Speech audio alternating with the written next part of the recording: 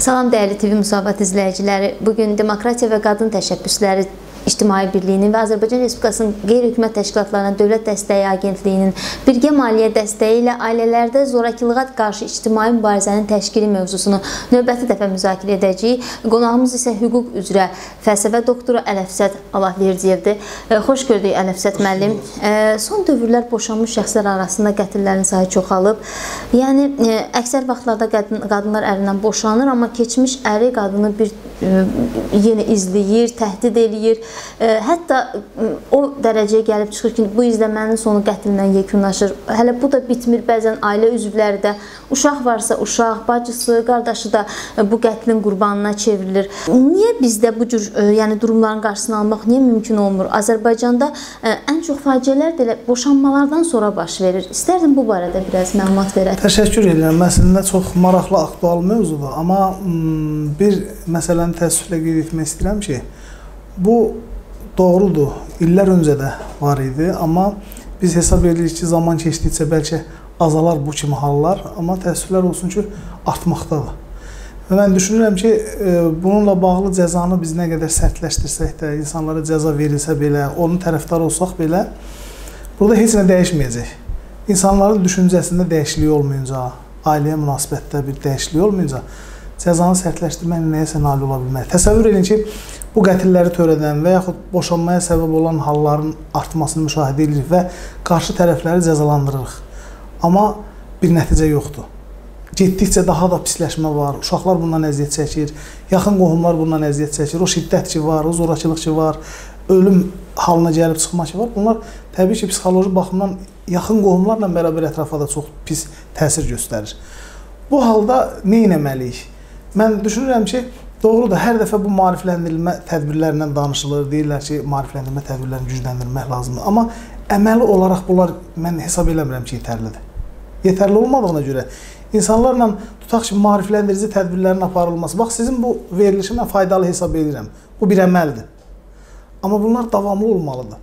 Və təsir insanlara nə kimi təsir göstərməsi nəticəsi aşkarlanmalıdır ki, Biz bundan hansı nəticəni əldə etdik? Tədbirdir, keçirdik, bitdi yoxsa doğrudan da bundan faydalanan və nəticə bir nə bir nəticə hasil oldumu? Bunlar olmayınca, müqayisəli təhlil aparılmayınca demək olar ki, proses davam edəcək. Və təsəvvür edin ki, e, çox tez bir zamanda ailə qurmuş şəxslər arasında boşanma halları baş verir. Səbəb araşdırmana baxırsan ki, heç bir ciddi bir səbəb yoxdur. Yəni o səbəbi yaradan insanın psixoloji durumudur insanın sağlamlıq durumunun normal olmamasıdır. Və getdikcə də bu şiddətlənir.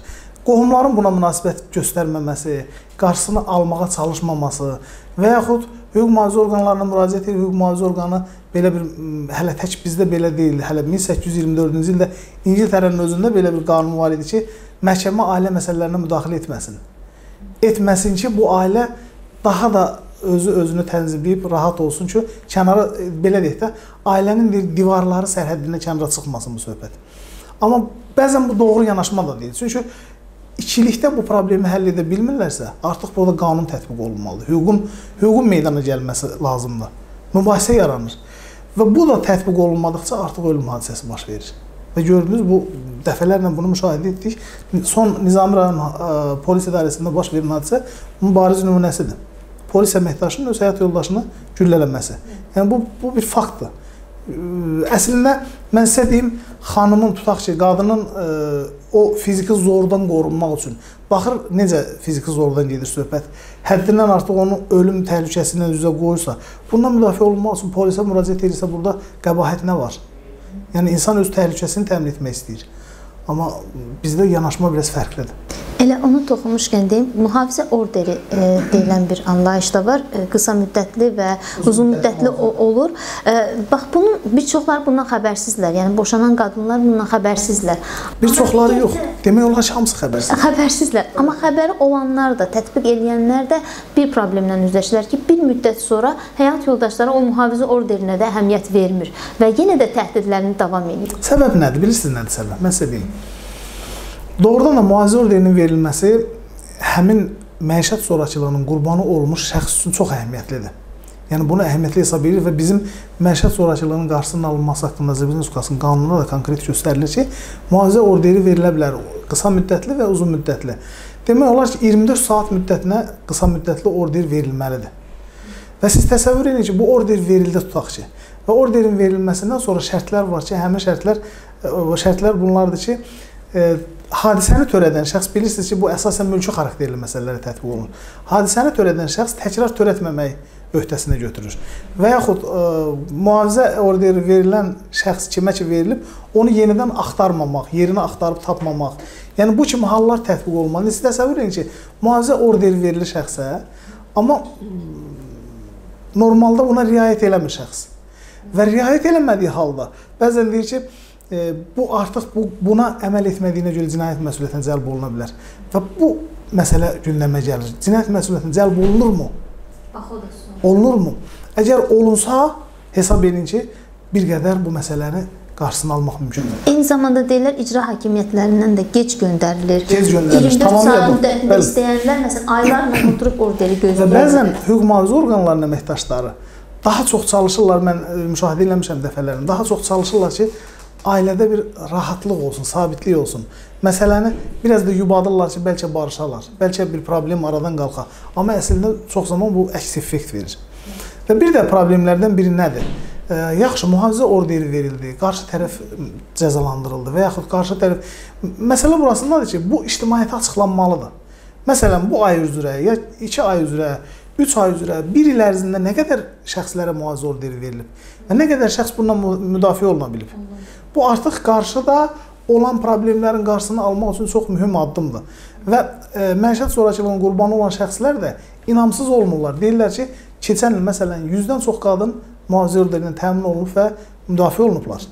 Və yaxud 100-dən çox şəxs e, mühafizə orderini əməl etmədiyinə görə məsuliyyətə cəlb olunublar.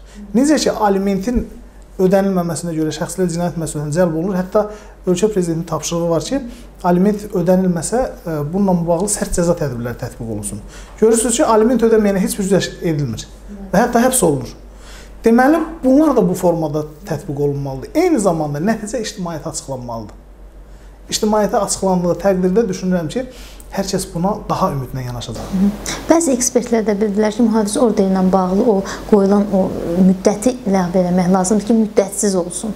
Bəzən müddət bitəndən sonra da yenə də təhdidlər təkrar başlayır bəzi ailələrdə. Bilirsiniz, Belə faktlar da var. Bu çox ciddi məsələdir, həqiqətən ciddi məsələdir. Çünki bizim bununla bağlı bir araşdırmamız da oldu, söhbətimiz də oldu, xanımlarla da söhbətimiz oldu. Deyir ki, e, deyirsiniz bu adamla yaşamaq mümkün deyilsə ayrılmaq, boşanmaq. Siz təsəvvür edin ki, deyir, boşanandan sonra belə illər keçsə belə təhdid edilir ölüm, ölüm tə, təhdidi ilə və təsəvvür edin ki, deyir, öldürər də, əminəm ki, öldürə bilər. Əgər onun hansısa formada belə deyək, gücü çatsa, yerimi bilsə, nəsə bir şey olsa öldürər.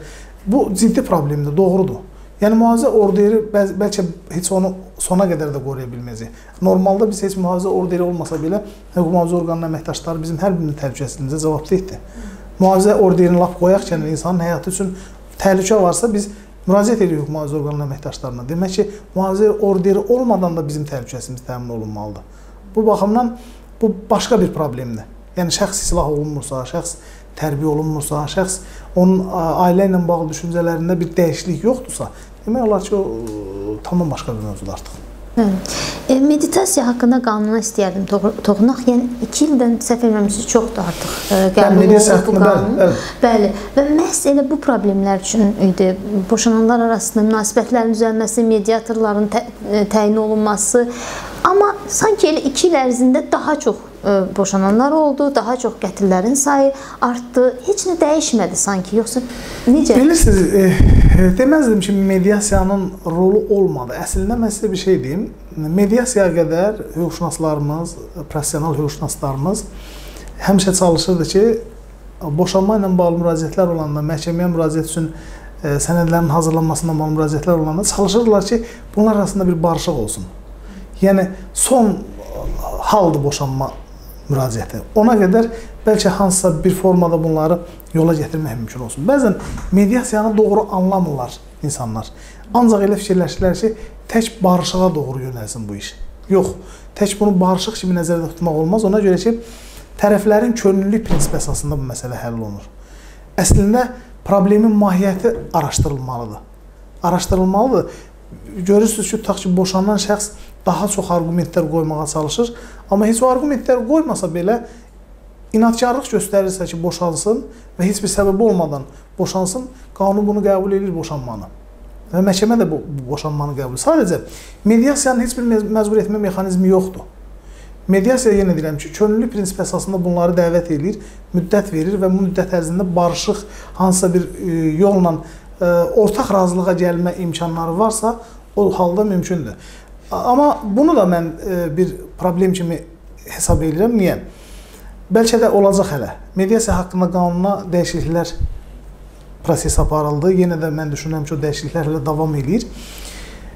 Onların da fəaliyyəti ilə bağlı cəmiyyətə açıqlama veriləcək, hesabat təqdim olunacaq. Mediasiyanın fəaliyyəti zamanı nə qədər insanların problemləri həll olundu. Bilirsiniz ki, üç istiqamət üzrə ailə, əmək, kommersiya mübahisələri ilə bağlı məsələlər yönəldilir mediasiyaya. Bəzən ümumiyyətlə məhkəməyə müraciət edəndə də o mediasiya şurasının fəaliyyətini təklif edir onlara ki, mediasiya formasında sizin problemin həlli mümkün ola bilər. Çox zaman da mümkün olur. Mümkün olur. Amma yenə deyirəm, bizdə o məlumat tam deyil ki, nə qədər mümkün olub, nə qədər mümkün olmayıb. Əlbəttə, bu dəqiqə mediasiyaya inanmayanlar da çoxdur və heç yaxın getmək istəməyənlər də çoxdur. Amma mən düşünürəm ki, doğru yanaşma deyil bu. Bunun kifayət qədər mühüm rolu var. Axı insanlar çox zaman heç məhkəməyə getmək də istəmirlər. Deyir ki, mən bu yaşıma qədər gəlmişəm, məhkəməyə getməmişəm. Bu cür düşünənlər də var. Əslində məhkəməyə getmək hüquqlarının müdafiəsi istiqamətində çalışmaq deməkdir. Burada qəbahət bir şey yoxdur. Amma mediasiyaya gedəndə, mediasiya ə, e, təşkilatlarına gedəndə tam normal şəkildə heç bir məhkəmə qurumu deyil, normal şəkildə gedib orada məsələlərin müzakirəsində iştirak edirlər. Yəni bax bu baxımdan düşünürəm ki, artım mediasiyanın fəaliyyət və fəaliyyətsizliyi ilə bağlı deyil. İndi mediasiya bizdə daha da təşkilatlanma prosesini keçir və mən e, müşahidələr aparıram, görürəm ki, doğrudan da çox ciddi şəkildə çalışırlar. Bir çox problemlər bölgələrdə var. Artıq bölgələrə diqqət artır. Bilirsiniz ki, məişət sonrakılığı daha çox bölgələrdə baş verir. E, erkən e, ailə qurma, boşanmalar və təsəvvür edin ki, 15 yaşında, 14 yaşında qız uşaqlarının ailə qurması onun ümumiyyətlə ailənin mahiyyətini dərk eləməməsi, problemləri dərk eləməməsi və sonunda da boşanma halları. Həmin Qız uşağı da bədbəxt olur, onun dünyaya gətirdiyi övlad da bədbəxt. Elə yadıma düşdü dediniz, bu yaxınlarda səhv eləmirəmsə Cəlilabadda baş vermişdi bu hadisə. Az yaşlı qızı götürüb qaçırmışdılar. E, Ata-anası şikayət eləmişdi, efirə də çıxmışdılar onlar. Amma sonra e, Onlar mənə müraciət eləmişdi ilk dəfə. Eləmi? Və, və mən də sizin e, televiziya və mətbuat qəzetinizə müraciət elədim onun araşdırılmasıyla bağlı. İlk olaraq həmin hadisənin iştirakçısı mənə zəng eləmişdi. Bəli. Namaraqlı məqam orada o idi ki, valideynlər şikayət etdilər ki, bu məsələ araşdırılsın. Amma qız sonradan ifadə vermişdi ki, e, mən şikayətçi deyiləm, özüm getmişəm. Bax belə bu yalnız bir hadisə deyil. Belə hadisələr çoxdur. Yəni e, Əgər az yaşlıdırsa bu, bu zaman onun e, sözünə, İfadəsi. ifadəsinə e, e, ehtiyac olurmu? Yəni qanunvericilikdə mi boşluq var, yoxsa bizdə sui-istifadə halları var? Bax bunu bilmək istərdim. Burada e, əgər söhbət zorakılıqdan gedirsə, e, onun birinci növbədə təhsil məsələləri var. E, təhsilin yayınması, eyni zamanda ilkin məlumat belədir ki, bu adamı e, oğurlayıblar, yoxdur. Qaçırıblar deyirik də, biz qız qaçırma deyirik. Məsələ burasındadır ki, elə hallar var ki, qanun onu bağışlamır. Amma e, xanımın, qızın deməyə ki, mən özüm razılığımla bu proses baş verib, hardasa hadisəni yüngülləşdirən bir hal kimi nəzərdə tutula bilər. Amma indi məsələn bəlkə məcbur olunub, o da var axı. Bəli, bəli. Bizdə çox vaxt elə olur. Daha burada, sən getmisən. Həm e, zorakılığın qurbanı olan e, qızlar, insan alverinin qurbanı olan xanımlar həmişə onların cəmiyyətə reabilitasiya olunmasında ciddi problemlər var. Məsələn, o qaçırıldısa, bundan sonra heç kimə lazım olmayacağını düşünür və evlərinə qayıda bilməyəcəyini düşünür. Cəmiyyətə qayıdıb reabilitasiya oluna bilməyəcəyini düşünür. Ondan sonra o öz həyatını daha da məhv eləməyə çalışır. Təsəvvür edin, məhkum məhkumluqdan məhkumluğu bitir, azadlığa çıxır, məhkumluğu bitir və bundan sonra heç kəs onunla əlaqələr qurmağa çalışmır işə götürülməsində problemlər yaranır. İnsan daha da uçuruma gedir. Mən dəfələrlə sual vermişəm, xanımlara sual verirəm. Deyirəm, insan alverinin qurbanı olan və yaxud zorakılığın qurbanı olub ictimailəşən bir xanımla münasibət qurardınızmı?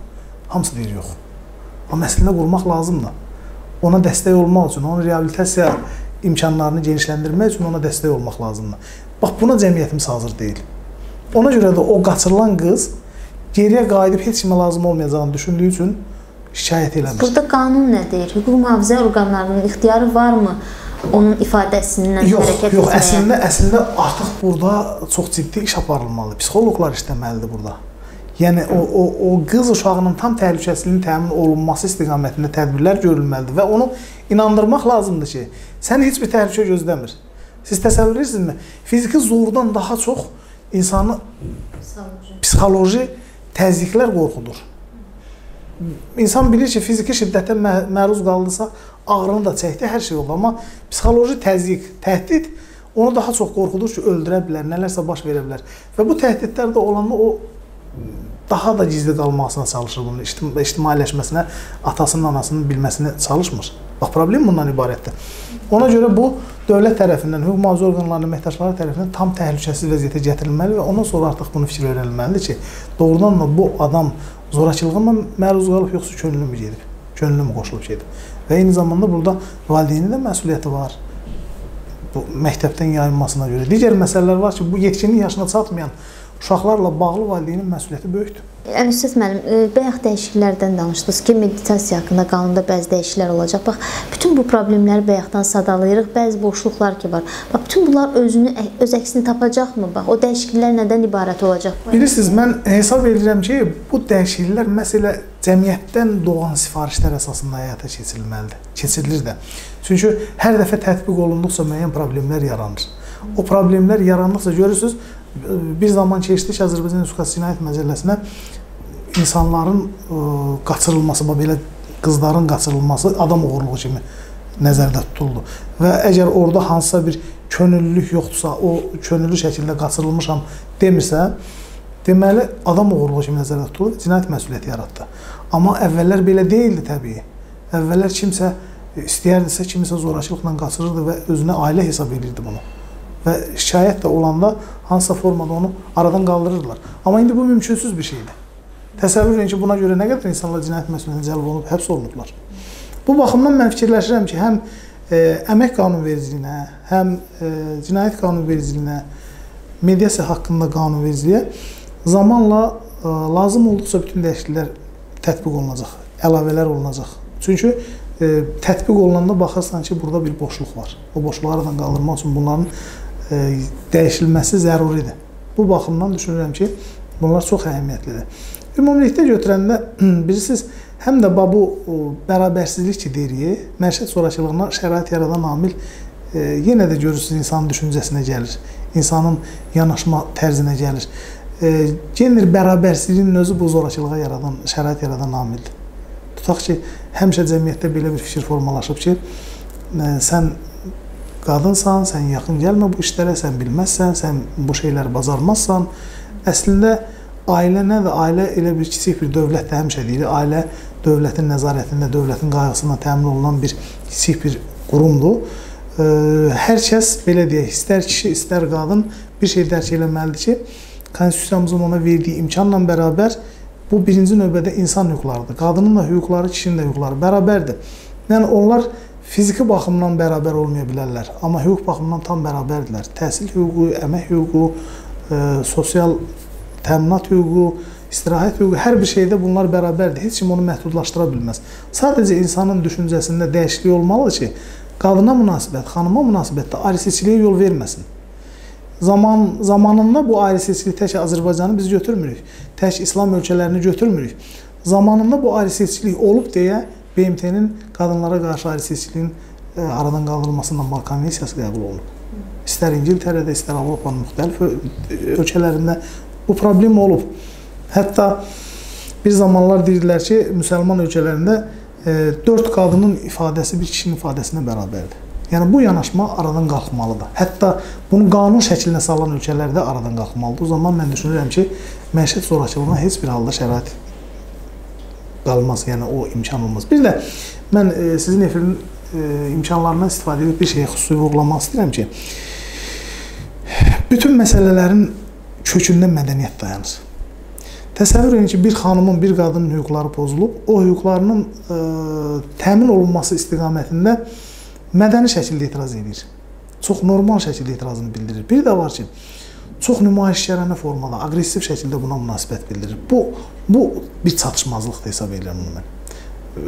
Dəfələrlə müşahidə eləmisiniz İstanbul Konvensiyasına qoşulmaqla bağlı e, feministlər deyirlər. Feministlər mitinqlərə çıxır, e, piketlərə çıxır. Onların şüarlarına fikir verirsinizmi? Əgər dövlətdən siz nə isə tələb edirsə, dövlətdən hansısa bir qanuna dəyişikliyə və bir konvensiyaya qoşulmağı tələb edirsə, çox sivil şəkildə, mədəni şəkildə bunu tələb edə bilərsiniz. Və sizi də qarşılayıb, dinləyib sizin bu məsələlərə münasibət bildiriləcək. Amma çox belə deyək, əxlaq normalarından kənara çıxan formada, e, aşağılayıcı bir formada, nə bilim, e, heç bir halda bunlara diqqət yetirilməmələrini gündəmə gətirmə formasında bu şüarları səsləndirmək mən hesab edirəm ki, burada da bir qərəz var. Bu qərəzi aradan qaldırmaq, yenə deyirəm ki, hər şeyin kökündə bir mədəniyyətin, bir sivil mübarizənin dayanması əsas götürülməlidir. Bu da əlbəttə dövlət üçün, dövlətin vətəndaş, vətəndaşları üçün həmişə faydalı olan bir məsələdir. Bayaq e, söhbətimizin əvvəlində də siz vurğuladınız, istəyirəm o məsələyə toxunaq. E, insanların, cəmiyyətin, qohumun, qonşunun e, baş verən hadisələrə reaksiyası. Məsələn, qonşuda bir hadisə baş verir, eşidirsən ki, ə, tam aydın oldu başa düşdüm. Həyat yoldaşını fiziki zorakılığa məruz qalır. Yəni ə, və yaxınlaşır, e, qapını döyür, bir öz etirazını bildirmək istəyir. Özümüz bilərik deyirlər. Hətta gedib məsələ polis orqanlarına çıxanda da belə özümüz bilərik. Biz şikayətçi deyilik. Qadın özü belə deyir, biz şikayətçi deyilik. E, burada mən iki məqam istərdim sizdən soruşum. Bir, e, ətrafdakılar bu zaman nə etməlidir? Yenə də etirazını davam etməlidirmi? İkincisi, polis orqanları həmin şikayətləri biz bilirik ki, şikayət əsasında bu götürülür. Əgər qadın şikayət etmirsə, Halbuki faktlar var. Ətrafdakılar şikayət edirlər. Bax, bu zamanda burada da bir boşluqlar var düşünürəm ki, çünki çox zaman məsələ elə ordaca həllini tapır və təzədən yenə də davam edir bu cür təhdidlər, bu cür qışqırıqlar. Bax, bunu bilmək istərdim. Əslində məişət zorakılığına qarşı ictimai mübarizə deyirik. Bəzən soruşurlar, bu lazımdırmı, lazım deyilmi? Əlbəttə lazımdır. İctimai mübarizə eyni zamanda vətəndaşların buna fəal münasibət göstərməsi bir mənalı şəkildə lazımdır. Bax, fikir verin, siz e, söylədiniz bir qonşuluqda ailədə qadınla kişi dalaşır. Səsləri aləmi götürüb, hətta fiziki zor tətbiq eləyir, ağlayır, qışqırır və bunu sizin evinizdə körpə uşaq eşidir. Artıq ona psixoloji təsir eləyirmi? Artıq onda bir gərginlik yaranırmı? Deməli, bu bunların ailə məsələsi deyil artıq. Artıq ailədən kənara çıxdı. Və eyni zamanda onun o e, hüququ yoxdur ki, onu o formada şiddət tətbiq eləsin.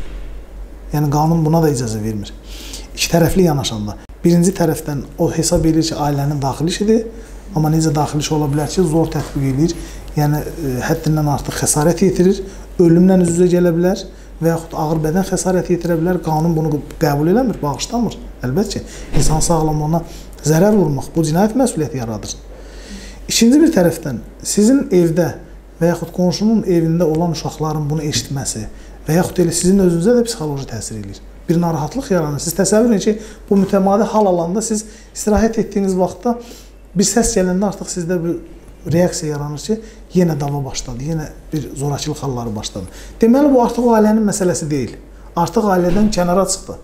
Bu halda mütləq şəkildə hüquq mühafizə orqanlarına müraciət olunmalıdır. Yəni vətəndaşlar tərəfindən. Hüquq mühafizə orqanı məsələni araşdırmalıdır. Qadın şikayətçidir və ya şikayətçi deyil, deyil məsələ. Ola bilər bir xırda bir məsələ olub, söz-söhbət olub, qışqır-bağır olub, qadının heç bir xəsarəti yoxdur. Bu halda hə deyə bilər ki, qadın şikayətçi deyil.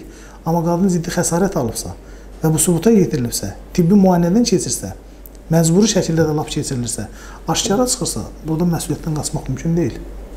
Heç cür mümkün deyil. Yəni heç kəs o məsuliyyətdən yaxa qutara bilməz və inanmıram ki, hüquq mühafizə orqanlarının əməkdaşları da bunu qadının şikayəti yoxdur deyərək kənarlaşdırsın.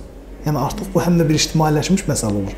Hamının narahatlığına səbəb olan məsələ olur. Və dəfələrlə də müzakirələr zamanı söhbətimizdə də bildirmişik ki, bu cür olan məsələlər cəmiyyət üçün olduqca təhlükəlidir.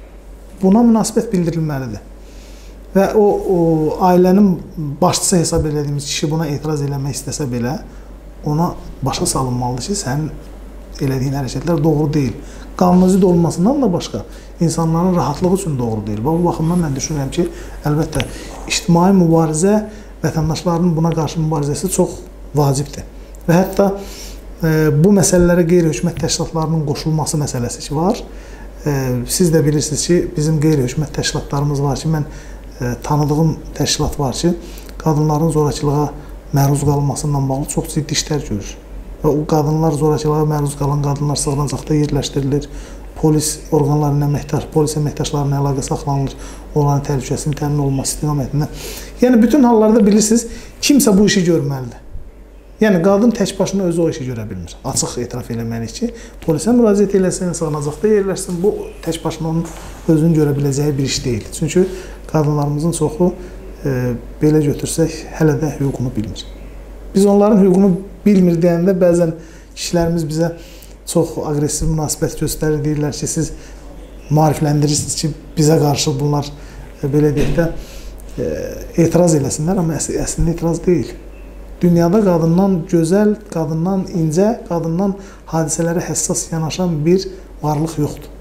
Əslində biz onları duymalı və onları başa düşməliyik. Təşəkkür edirəm sizə Əlövsət müəllim e, fikirlərinizə görə. E, dəyərli e, izləyicilərimiz, artıq verilişin sonuna gəlib çatdıq. Xatırlatmaq istərdim ki, Demokratiya və Qadın Təşəbbüsləri İctimai Birliyinin və Azərbaycan Respublikasının qeyri-hökumət təşkilatlarına Dövlət Dəstəyi Agentliyinin birgə dəstəyi ilə ailələrdə zorakılığa qarşı ictimai mübarizənin təşkil mövzusunda bu gün müzakirə apardıq. Təşəkkür edirəm. Çox sağ olun. Sağ olun. Sağ olun.